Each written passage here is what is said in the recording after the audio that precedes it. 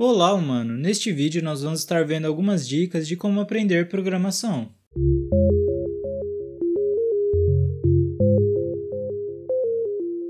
Bom, esse vídeo aqui a gente está fazendo no ICMC, no Instituto de Ciências Matemáticas de Computação, aqui da USP. E quem vai estar ajudando aqui também, dando as dicas, é o Bruno, Bruno Olá. Larsen, Também conhecido como Bilionai na como bilionário, é. E a gente participou junto de várias competições de programação. E acho que, bom, melhor você se apresentar por você mesmo, sim.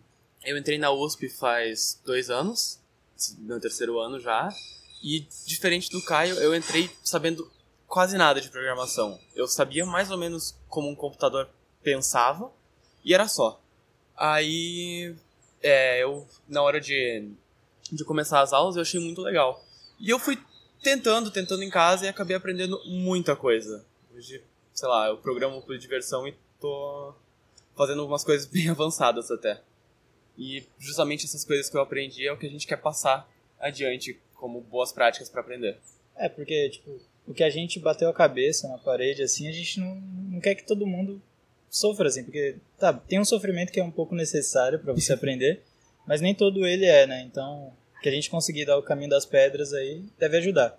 E também não quer dizer que a gente sabe tudo de programação. Na verdade, a gente já sabe muita coisa que a gente não sabe.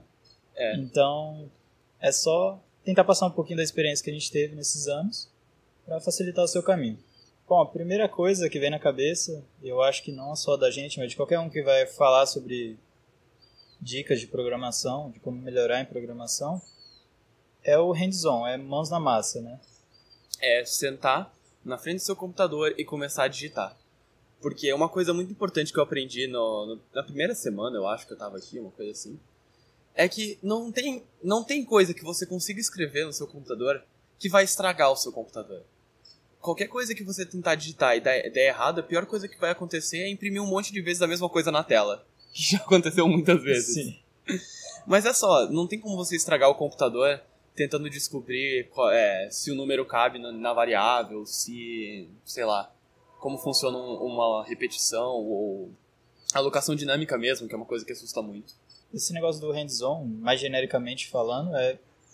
Não adianta você ver o cara programando, você tem que chegar e fazer, sabe? Você tem que sentir o teclado, você tem que decorar seu teclado de tanto você programar, ou mesmo que não seja o seu teclado, o teclado da universidade, da escola. Enfim, você tem que programar bastante, porque o nome já diz, né? Linguagem de programação. Então, é uma linguagem. Se você já aprendeu alguma, além do português, porque o português é meio automático se você é daqui do Brasil e tal. Português vem automático justamente porque você faz sem perceber o hands-on.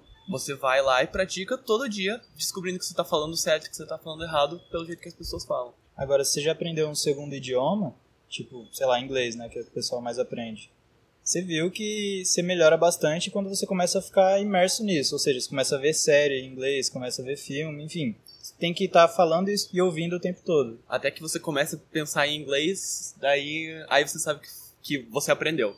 Mesma coisa em programação. Toda vez que você pensar em alguma coisa assim, ah, eu preciso resolver esse problema. Quando você começar a pensar no seu, na sua linguagem favorita como resolver esse problema, aí você sabe que aprendeu programação de verdade. De fato. é o segundo ponto que a gente quer abordar aqui é você aprender com o código dos outros. E aí entra duas coisas, entra alguém que tá, fez um programinha lá, algum amigo seu que já programa há mais tempo, você está olhando o código dele, e tem a parte de documentação, que aí são os especialistas, os caras que constroem a linguagem e que mantêm a linguagem, que escrevem.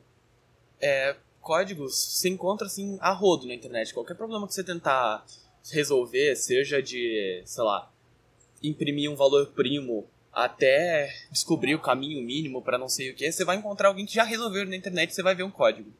Ao invés de copiar esse código, o que você tem que tentar fazer é olhar, entender por que, que ele fez desse jeito. Que muita, tem muitas coisas que é por preferência pessoal, mas tem algumas coisas que não são. E aí volta pra, pra coisa da prática. Ok, você coloca o código, vê que funciona, aí começa a mudar, tenta descobrir o que, que precisa ser assim, o que, que foi preferência pessoal, o que, que dá pra fazer melhor, o que, que ele já melhorou sozinho. Você vai aprendendo também umas sacadas, né? Por exemplo, se você resolver um problema e você vê um código de alguém resolvendo esse mesmo problema, você vai ver que a pessoa pensa de um jeito ligeiramente diferente, às vezes muito diferente de você. Sim. Por exemplo, eu falei no começo que a gente participava junto de campeonato de programação, né? E a gente fazia em grupo e tal. E aí, às vezes, a gente resolvia um mesmo problema, não no campeonato, né? Porque no campeonato você resolve um e passa e acabou, vai pro próximo. Uhum. Mas quando a gente tava treinando, a gente via a solução do outro e, tipo, era completamente diferente. Meu, eu não conseguia reconhecer. Olhando pro código dele, eu não sabia que era o mesmo problema. Mas a resposta era a mesma, Então, por preferências pessoais. isso é legal porque abre sua cabeça, né, para as possibilidades. Porque quanto mais formas você souber de resolver um problema, melhor, porque você tem mais opções para escolher a mais em outro problema. Isso. Eu, no começo, assim, eu detestava aprender por documentação de linguagem. Documentação é, por exemplo, você ir no site do Python ou no site do C++, lá, C++. Ou no próprio manual do, do sistema operacional, se você usa Linux. Isso. E aí você ia aprender por lá, né? Como que você usa uma função e coisa assim. Eu detestava, cara, porque era uma coisa muito pouco didática, sabe?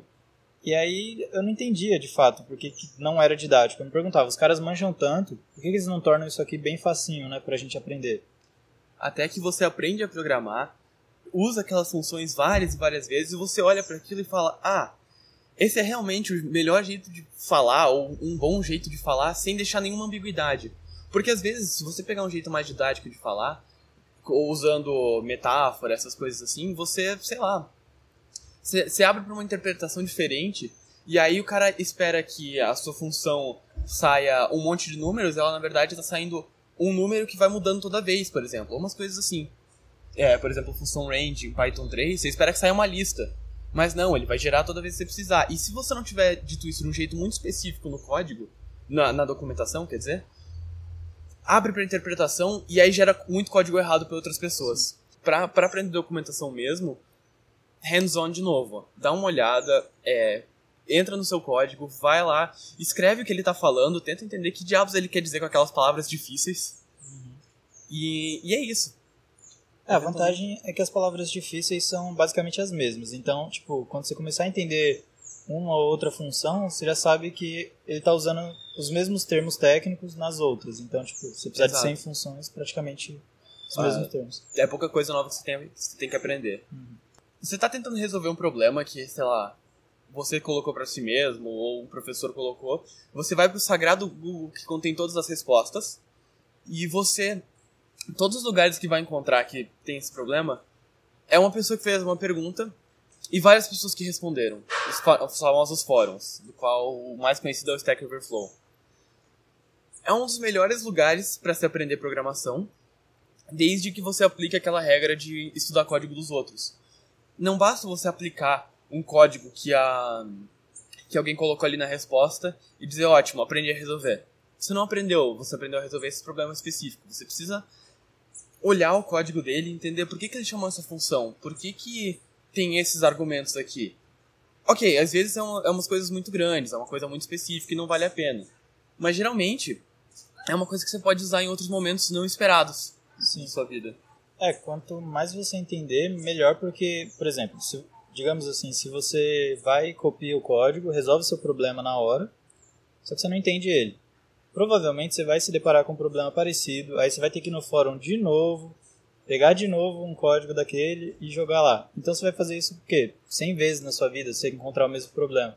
Sendo que se você entendesse da primeira vez, você teria matado, porque quando você entende, você não esquece tão fácil, entendeu? Então, é, e além de você ser passivo, assim, de olhar o código lá que tá no Stack Overflow, por exemplo, ou qualquer outro fórum, você também pode fazer perguntas. Tipo, não fica com essa de, ah, mas vamos chamar de noob e tudo mais.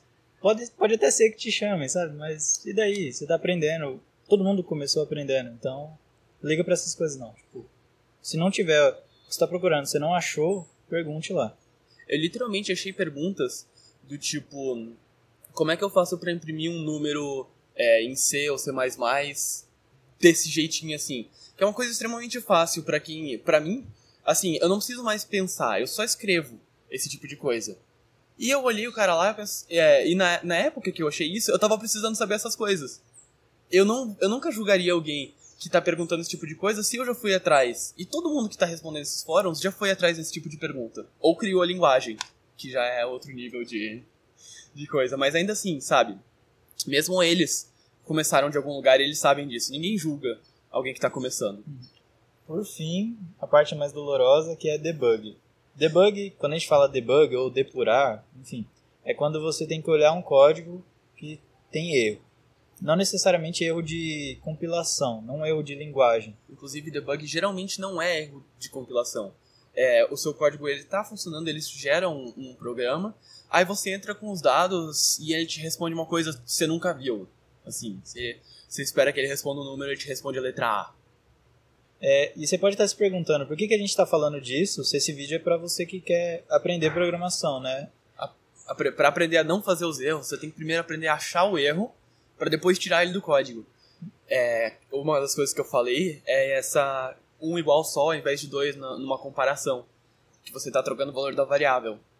É, imprimindo o valor da variável ou usando um debugador, você vai achar e aí você vai descobrir, olha, eu tenho sempre que usar dois iguais, não, não é um igual só. Vários errinhos bestas desses, que eu já fiz uma montanha de vezes, eu só não consigo pensar em nenhum mais agora. É, tem várias coisas. Por exemplo, em C++ tem um negócio lá que você tem que limpar a memória de, um, de uma certa estrutura. Ah, sim. Quando você não limpa, fica lixo lá e acaba fazendo conta junto com aquele lixo. Então, o que você tinha que fazer com os dados reais mais o lixo dá uma coisa errada. E seu programa vai dar errado se você não limpar, entendeu? E acontece direto, tipo no, na maratona de programação, que eu tô com a camisa aqui, direto, direto. O pessoal faz esquece de limpar e não sabe por que, que não tá funcionando. Outro problema que aconteceu, esse comigo, não pra maratona, pra um jogo que eu tava fazendo, é, eu inclusive resolvi esse problema ontem, assim, à meia-noite, uma coisa assim. É, eu tava gerando, eu tô fazendo um campo minado.